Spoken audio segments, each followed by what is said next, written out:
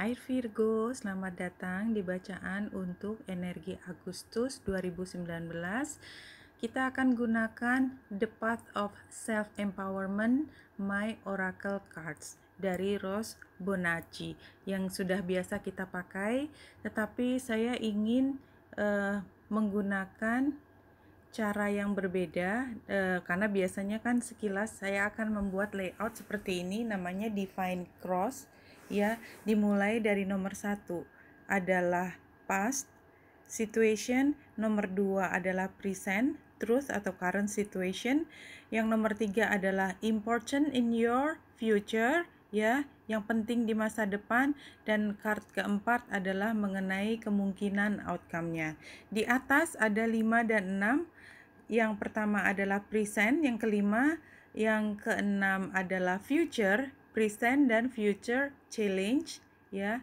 Kemudian yang di bawah adalah nomor 7 what do you need to do in the present and what do you need to do in the future? Sama jadi kartu 5, 2 dan 7 adalah present 6, 3 dan 8 adalah future. Yang satu past yang empat adalah yang uh, masa depan. Oke kita akan masuk untuk Virgo kali ini Divine Cross dan langsung keluar. Kita mulai dari kartu yang pertama ini. Ini di masa lalu Virgo ada celebration. You are having the time of your life. Jadi di masa lalu ada sesuatu yang sudah meningkat, berada di puncak, entah dalam karir, entah dalam hubungan, entah dalam katakanlah persahabatan. Semuanya adalah it's all about a good story ceritanya bagus, tetapi ternyata di balik itu pasti ada sesuatu yang berbeda. Ya, kita lihat kartu keduanya, presentnya adalah puzzle pieces, ya. Puzzle pieces you are complete. Ya, sekarang ketika semua sudah dilewati dari masa kejayaan, kita tidak bisa terlalu lama berada di puncak. Ya, itulah nature-nya orang ya.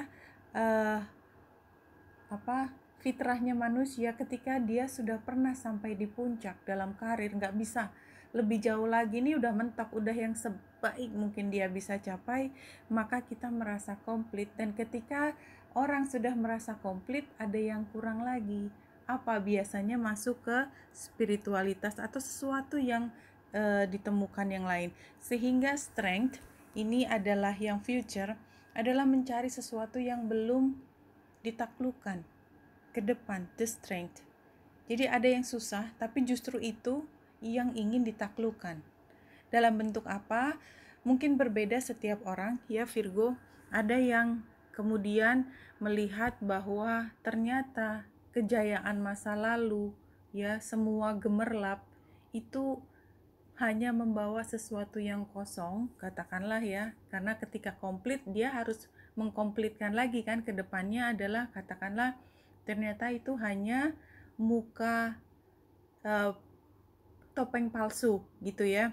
Itu bisa terjadi tapi yang jelas uh, di masa yang akan datang ya kemungkinan future-nya adalah the strength. Ada sesuatu yang membuat Virgo akan kembali struggling untuk mencapai puncak yang lain.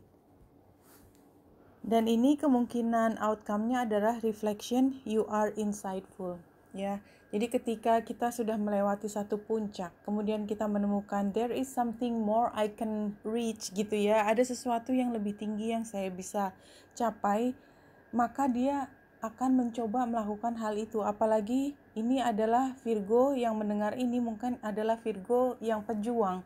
Yang ketika sudah sampai puncak pasti tetap akan ingin untuk melakukan sesuatu. Nah, outcome-nya ketika orang sudah pernah berkali-kali dalam situasi puncak, dalam situasi berjuang, tetapi setiap kali perjuangan itu dilakukan dengan sepenuh hati karena itu adalah passionnya dia, maka kemungkinan adalah dirimu menjadi orang yang bisa dicontoh. Ya, you are insightful. Orang lain melihat dirimu sebagai inspirasi, Sementara dirimu bisa merefleksikan apa yang dialami orang lain karena sudah pernah melewati masa tersebut. Ini tadi adalah apa tadi? Challenge. Future. Jadi udah sudah yang saat ini sudah berpuas diri. Berpuas diri bahwa sekarang saya sudah berjaya sudah sudah mencapai semuanya. You are magnificent. Ya kalau challenge di future-nya adalah respect. Ya ketika kita sudah sampai pada situasi kita berhasil kita mampu kita cenderung menjadi boastful pamer. Karena kita memang cantik ya kan ke depannya. Yang kita perlu pelajari bahwa orang lain mengalami ujian struggle yang berbeda dari kita dan kita menghargai tahapan perkembangan mereka yang barangkali sekarang tidak sama dengan kita sehingga kita tidak menjadi orang yang sombong seolah-olah dunia berhenti pada saat kita ke kejayaan kita. Enggak dunia tetap berputar kader baru akan muncul anak-anak menjadi dewasa ceritanya akan diwarnai oleh orang-orang yang baru. Nih what to do untuk present adalah adventure. Ya jangan berhenti mencari menjadi petualang jangan berhenti uh, mencari sesuatu yang baru, you are a pioneer. Dirimu bi biasanya menjadi orang yang memulai sesuatu dan ke depan the lovers.